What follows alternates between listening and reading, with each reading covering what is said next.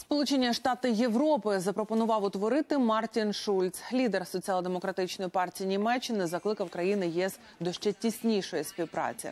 За розрахунками Шульца, якщо всі країни-члени Євросоюзу погодяться, новий блок може з'явитися вже у 25-му році.